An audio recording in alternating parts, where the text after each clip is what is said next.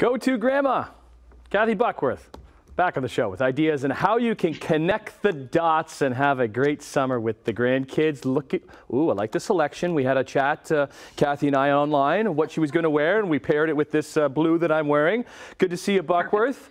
Uh, I love, uh, I love grandparents because I'm a dad of three little kids, and they help us out a lot a lot. I know people think it's summertime, we're all going to relax, we're going to chill. It's like it's the most organized space, right? Because you don't have that school, right, to send them to. Right. So I know with my, my own four kids and now with my two young grandsons, you know, balancing that summer can be really tricky. So grandparents can really help a lot. And not just with, you know, drop them off at grandparents for the afternoon, but really with helping to organize hopefully the whole summer. Um, so I call this connect the dots because I like I like a good theme team, Tim, as you know. So you, you know that. I've got so break it down for us. what do you, you break it down? What do you got?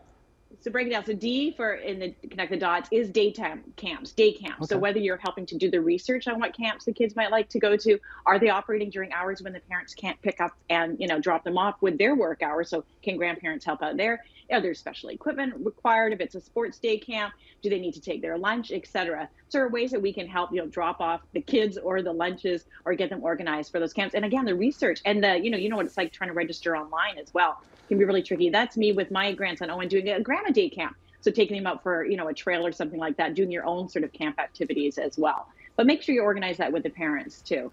Um, overnight camp is a whole other thing, as we know. My kids all went to overnight camp. Three of them liked it. That's all I'm going to say. One not so much. Um, but and I didn't go as a kid, but they loved it. Now, part of the reason, you know, I was hesitant to send my own kids to camp, I didn't have a great experience, but I talked to a lot of parents who did. And I actually, on my upcoming podcast on Go To Grandma, talked to a couple of camp directors in terms of how grandparents can really help get over those humps to go to overnight camp. So my son Nick ended up as a counselor at camp as well. Um, so the grandparents can help financially. Of course, it's expensive to go to overnight camp, but they can also talk to the parents about you will live if you don't see your child for two weeks. It's about the child. It's not about you. They're going to be okay without a cell phone. They're going to be okay canoeing on a lake. They're going to be okay sleeping in a cabin with seven or eight other kids, you know? So those types of skills, and my husband was an overnight camper, you keep your whole life and he still has contact with those those people that he went to i even think even like get like i don't know staying over at grandma and grandpa's can even help them get ready Absolutely. for overnight camp because they're not in their own bed they're not in their own house it is a different world. I know it's grandma and grandpa and they love grandma and grandpa but it is it's just still a little bit different you're just trying to get rid of your kids for the night, and I know yes. that, Tim, and I appreciate yep. that. Yippers. But no, no, but that brings me into T for travel, which is yeah, travel can be skip gen travel, as we call it. Leave those annoying parents like yourselves at home and just take the kids, the fun ones, and do something with them on a trip. It can be a far away trip. It can be a weekend. It can also just be you know, let's go and sleep over at grandma's, as you say, and do an overnight camp there. But you want to get a few things straight if you're actually traveling away. Who's paying for what?